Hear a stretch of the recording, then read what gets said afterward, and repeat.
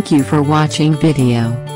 For more projects please visit our website www.truprojects.in. For updates on latest project videos, please visit TRU Projects YouTube channel and subscribe.